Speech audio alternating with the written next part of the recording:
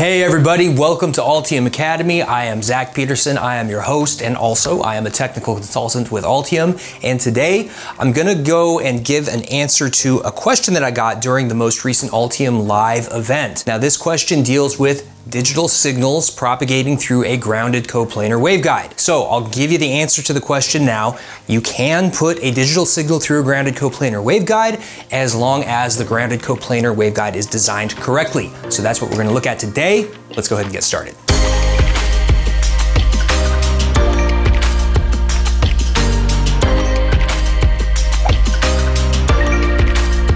I was at the most recent Altium Live event, someone actually asked me during a Q&A session whether or not it was possible to send a digital signal through a grounded coplanar waveguide. Now, as I was giving the answer, I mentioned that there's actually a nice paper in IEEE that actually shows a lot of data that you need to actually determine whether or not you can put a, a, specific digital signal through a specific grounded coplanar waveguide. So there's a link to a blog on the Altium site in the description Right up at the top of the blog, I put a link to that paper. You can download that paper as a PDF and check it out for yourself. And I'll actually be able to uh, explain the paper here in just a moment so that you understand what you're actually looking at in the paper because sometimes those papers can be a little bit confusing. So I'll walk you through how to analyze those results. Coplanar waveguides come in three possible varieties.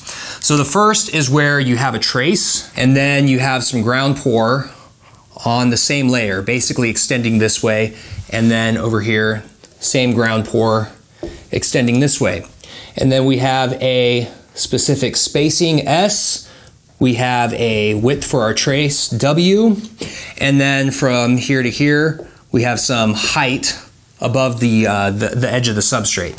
So this is kind of the simplest coplanar waveguide, meaning that you know I have my trace here that's actually carrying my signal, and then here we basically tie this to some ground net. And it's important that these two are actually tied to the same ground net. So somewhere else in the board, these two uh, pieces of copper are tied together. The next kind of uh, coplanar waveguide puts a ground plane down here. You can uh, calculate the impedance of this trace once you bring in this ground plane, just following the method that we actually showed in another video on coplanar waveguides without ground. So we actually compared those first two cases. The next type of coplanar waveguide has vias running between these two sections. So we have all of this tied to ground and it basically creates a big cage around our trace. Now as a signal propagates along the trace, essentially all of the field lines will terminate at the nearest ground region. And it's possible that this signal actually excites a resonance inside of this structure. So this kind of looks like a big resonant cavity if you think about it. You basically just have an opening here, but aside from that, everything else is closed off. And so as the designer, you need to then choose what spacing do you use. Also, you need to choose this distance, so we'll just call this uh, VL, so the length of the via away from the trace. And then if you look at this from the top, you actually have something that looks kind of like this, actually here. It looks more, more like this. So this is my trace coming down the middle. This is all of my ground pour. And then you need to choose the spacing between all of these vias. So this is called the via pitch, so or we can just call it VP. So VP and VL are actually the values that are used in the paper that I'm going to show here just in just a moment. These are the two parameters that that will determine whether or not you can send a digital signal down a coplanar waveguide without there being any distortion or attenuation in the signal. Now this is really important because technically you can send a digital signal through any kind of interconnect you want as long as the interconnect is designed properly. So that includes a coplanar waveguide. Now the notion of designed properly depends on the attenuation and distortion characteristics that are created by this structure. It also depends on the bandwidth of the signal. So one of the tools that we use to quantify whether or not a signal is going to be excessively attenuated or distorted as it travels down this direction, travels down this trace, is S parameters. And specifically, we like to look at S21 or the insertion loss. The reason we like to look at that is because these, uh, these interconnects tend to be very long. That means losses are going to be primarily dominated by insertion loss along the length of the line. Let me just draw a graph up here so you can kind of see what I'm talking about. So let's just suppose for a moment that I graph S21 versus frequency. So generally the plot is going to do something like this. So meaning the losses are going to get larger as the frequency goes higher. Now depending on the location of these vias and the value of VL and VP, you may actually see some dips in this spectrum. And so these dips are related to the allowed resonances inside of this cavity. If we have a digital signal, and I'm gonna just draw it in a different color on this same graph, if we have a digital signal and its bandwidth extends all the way out to here, well, the two lossy dips in the S21 spectrum will actually cause these portions of the power that are at these frequencies to get lost extensively and that will distort the shape of the signal. So what you really have to do is you have to look at S21 and that's what's going to tell you whether or not you're going to be able to, to send a particular digital signal down the interconnect. So just as an example, let's say we have a digital signal and the bandwidth that the receiver needs ends right here, right before this first dip. Well then, for practical purposes, the receiver is going to be able to interpret that digital signal correctly, and you don't have to worry about everything else that happens at higher frequencies. But let's say for a moment that the receiver needs more bandwidth. Maybe it needs this much bandwidth. Well, now there's a chance that the excessive loss at these frequency ranges actually distorts the signal enough that the receiver now can't interpret this signal correctly, and then you get bit errors. So this is the tool that we have to use to figure out whether or not we can actually uh, send a digital signal down a grounded coplanar waveguide, and then whether or not the receiver will be able to interpret it correctly. So with this in mind, let's go ahead and take a look at the IEEE paper. So if you want to follow along, like I said earlier, go to, into the description. There's a link to a blog in the description that has a link to the paper that I'm about to show. So this is the paper that I had referred to in uh, my Altium Live session.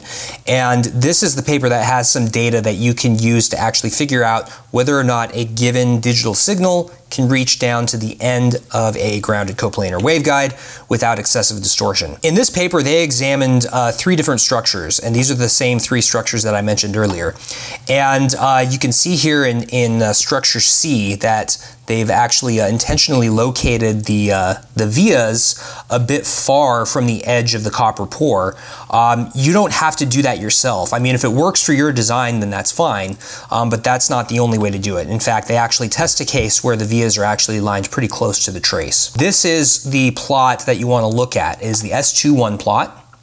And there's a corresponding power loss plot. And so the power loss plot is really useful, but I prefer to look at the S21 plot. But the two, the two plots correspond to each other. So let's just go ahead and dig in. So here what they're testing is they're actually testing what happens when you change the location of the via with respect to the center of the trace. So here where my mouse is, I'm drawing it vertically. This distance from the via to the trace is VL. So what you can immediately see here is that as VL is made larger, you actually make these dips, these high loss dips in the insertion loss spectrum correspond to lower frequencies. So you can see that all of these dips start to move to lower frequencies once you bring those vias further away from the edge of the trace. So what's going on here? Well, what you're doing is you're moving resonances down to lower frequencies. And you can see that this is actually progressive, right? So when we're at 400 microns or 0.4 millimeters, um, you can see that we practically don't really see any dips. In fact, insertion loss is really good all the way up to, you know, about 100 gigahertz. Um, then once we bring the vias farther away, you can see that progressively the resonances move closer and closer to lower frequency values. And for this uh, this uh, grounded coplanar waveguide with uh, 2.7 millimeter separation between the trace and the uh, the vias, uh, you can see that our bandwidth is basically limited to about 15 gigahertz. Is that good? Is that bad? Is that you know too much or too little bandwidth? Well, it really depends on the signal, and like I said earlier, it depends on the amount of bandwidth your receiver needs in order to be able to fully resolve a stream of digital signals that reach the receiver. So if your particular receiver needs, let's say, uh, 24 gigahertz of bandwidth um, for this uh, particular line with the 2.7 millimeter separation, um, you see these strong dips here, and unfortunately, the receiver may have uh, a hard time interpreting the signal correctly due to the presence of these dips. And you can see similar results in the corresponding power loss plot. Now, the other important parameter here is the via pitch, VP. So this is the separation uh, horizontally here where my mouse is uh, between neighboring vias. The other constraint here beyond just, you know, what bandwidth do I need is, is the manufacturability. And I'll discuss that here when I get back on the whiteboard. Um, but for the moment, we actually see similar results. So the results here are very similar, right? As we make the via separation larger, you can see that these dips in the insertion loss plot move to lower and lower frequencies. So just as a general rule, if we want to ensure that we have the uh, maximum bandwidth available for our particular interconnect, then we would like to make VP and VL as small as we possibly can. Now that's going to be subject to some manufacturability limitations. Obviously if the uh, vias are too close together then the hole-to-hole -hole separation is too small to be reliably drilled and then there's a risk of overlapping drill hits and I'll discuss more of what that looks like here in just a moment and we'll break down some of these numbers. Um, but just as a general rule uh, what this is what's going on here is you're actually changing the value of the resonances. And if you want to approximate the, uh, the, the cavity as um, essentially just a rectangular box, you would use a formula kind of like this. So you'd use a very similar formula to this to calculate the, what the resonances are in this structure. And essentially you can see here as you make any of these values small, uh, smaller, you make any one of these uh, F values much larger. Okay, so what we saw was we had some numbers for this value here, V sub L, and this value here, VP, uh, between the actual, uh, the vias. Now, the numbers that were shown in those graphs are actually really important because, as I said, we would like to get these as close together as possible. However, due to manufacturability constraints, we can never get them too close together and that's going to depend on the uh, precision of the drilling machine that's being used, as well as the size of the via. When drilling vias, there is a hole wall to hole wall constraint, meaning this distance right here between the hole walls, between these two vias, has to be at least a certain value. So in the paper, what we saw was that we had about 0.35 millimeter hole wall distance that was used. Eh, actually, it was a center to center distance, not a hole wall distance. So it was a center to center distance, and that 0.35 millimeters comes out to about 14 mils. If you really wanted to get down to 0.35 millimeters as they show in the paper, well, you have a challenge there because then you have to choose for a given drill size how close you can put these two things together. So let's just say that this drill hole has a diameter of six mils. So that would leave a hole wall to hole wall distance here for these two vias of 14 minus 3 minus another 3 gives you 8 mils. So we have an 8 mil hole wall to hole wall distance. So this is probably going to be too small. A lot of fabricators will instead say we would prefer at least 10 mils. So that's the first thing to consider.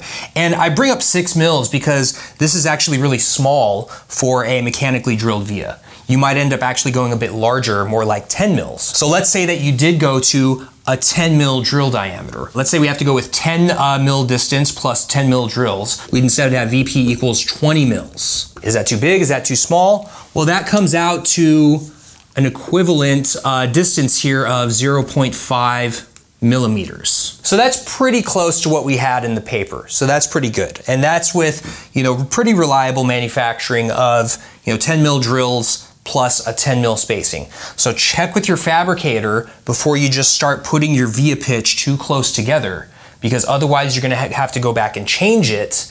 If they see that they're too close together, they're gonna hit you with no bid status, or they're just gonna tell you, hey, if you change this, we can bid for it. Same idea here with the uh, with this uh, distance here. So if you remember in the paper, VL was 0.4 millimeters, And that's uh, basically what, like 16 mils or something. Same consideration here. If we have, let's say, 5 mil spacing here, which is the default that Altium Designer is going to apply. Your other your CAD tool might apply a different value, but whatever it is, if this is only 5 mil, that leaves an 11 mil remainder here from the wall edge to the center of the via. So let's say we again go with 10 mil vias here. Well, now this radius here is 5 mils, so that leaves a 6 mil distance between the hole wall and the edge of the copper. So is that too big? Is that too small? Well, again, they're probably going to apply the same rule here. Okay, they're going to apply a drill to etch clearance. That drill to etch clearance may need to be more like 10 mils. So if again, if we have our you know five mil uh, radius here, and then we have a 10 mil requirement here, then this is actually going to increase the required size here, and it's going to increase this distance to actually 15 mils. So instead of having a VL of 16 mils, we would actually have our VL be 20 mils. And this is what we would end up with with those drilling parameters. So keep that in mind. Just because the paper says, hey, 0.4 millimeters is what we went to, doesn't necessarily mean we can manufacture it. It's gonna depend on these clearances. So again, this is one of those things Call up your fabricator, get their clearance limits, make sure that you can actually manufacture the grounded coplanar waveguide that you want to design. All right, everybody, so hopefully this sufficiently answers the question of whether or not you can route a digital signal through a grounded coplanar waveguide. And in summary, you can subject to some conditions, and obviously you want to make sure that those conditions that you're designing for are actually manufacturable. All right, everybody, so thanks for watching this. If you liked the video, hit that like button. If you wanna see more videos, hit that subscribe button, and definitely check out the article that we linked in the description. It has a link to the paper that describes all of this. You can keep it for yourself and use it to help you design your own grounded coplanar waveguides. All right, thanks everybody, and definitely, definitely on this, don't forget to call your fabricator.